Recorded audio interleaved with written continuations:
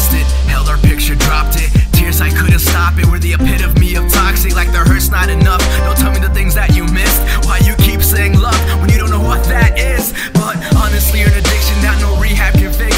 And to be real, I have no clue of what all of this is. Cause one moment I'm done, then I don't know how to word it. Cause what's broken can't be fixed, but what's fixed isn't worth it. So I guess this is that moment where I say that goodbye. Maybe it's not the happy endings, but the way that we tried.